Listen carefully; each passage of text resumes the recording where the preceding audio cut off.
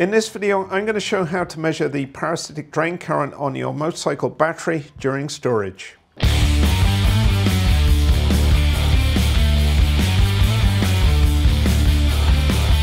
This is my 2024 KTM 300 EXC TBI dirt bike and they come fitted with stock with a lithium battery uh, which has a characteristic that even over long periods of time the self-discharge is very low, um, which means that uh, they maintain voltage and charge over long periods of time. This is really handy because if you're not riding your bike regularly, uh, there's no need to uh, disconnect the battery. Um, you can leave it connected for a couple of months and uh, it should start up fine uh, on the next ride.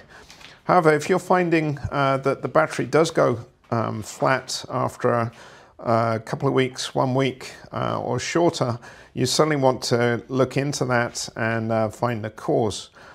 Um, one common issue can be that if you've connected aftermarket accessories across the battery directly, um, it might be uh, drawing a high parasitic current causing the battery to go flat.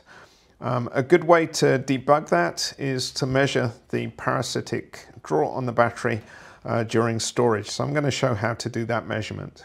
To measure parasitic current draw on your battery, you'll need a multimeter with a current measurement function. The one I have here is uh, made by UNI-T. Uh, the model number is UT61E. I've had this one for over five years now and it's proved to be reliable. Uh, the most important function um, is obviously uh, current me measurement mode. And this has uh, three ranges, microamp, uh, very small uh, current measurements, milliamp, uh, which I'm going to be using for this measurement, and amps. And the maximum current measurement it can perform is 10 amps. Um, depending on what mode you're using, check your multimeter and you might have to use different terminals. Right now it's set up for voltage measurement because the first measurement I'm going to do is to actually measure uh, the voltage of the battery. Um, so I'm going to do that now. And I haven't ridden this for uh, about almost a week and it's measuring 13.37 volts, uh, which is fine for a lithium battery. Uh, it should measure over 13 volts. If your battery is reading less than 13 volts, I recommend uh, charging it before you do the measurement. Okay, so now I've set my multimeter for current measurement. I've got my range on milliamps and I've changed from uh, voltage to uh, current uh, input terminal um, for the probe and it's in the milliamp uh, range input.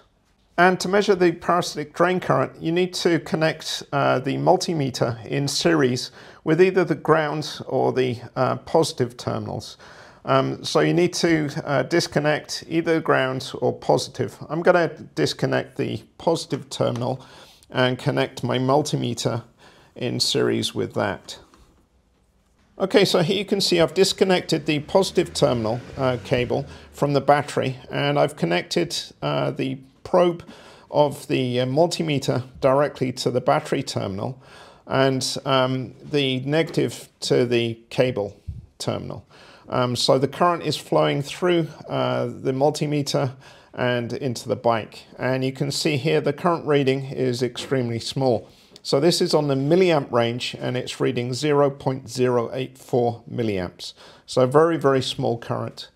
Um, if your bike uh, does measure high levels and is uh, having problems uh, starting after a, a, week or so of storage, um, that would indicate that uh, something is drawing excessive power. And uh, what you can do is, if for example you've added um, an aftermarket navigation device, disconnect that and uh, see whether the current changes. Um, if it does, uh, a workaround would be instead of connecting directly to the battery, uh, to use a switch voltage supply.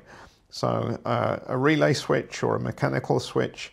On a 2024 model, it does have a ECU controlled um, solid state switch, uh, which you can use um, to power certain things. Um, I actually made a video about uh, powering my Trailtech um, fan um, from uh, the solid state switch and uh, I'll put a link in the description of the video if you want to do something similar for your bike. And if storing your bike for long periods of time, for example, longer than six months or so, I would recommend disconnecting uh, the battery and storing it that way to ensure there's no discharge problems on the battery. Uh, some people like to use tenders, but uh, for a lithium battery, because the self-discharge is so low, uh, it shouldn't really be necessary. If you do want to use a tender, I would recommend uh, disconnecting it and connecting the tender directly to the battery.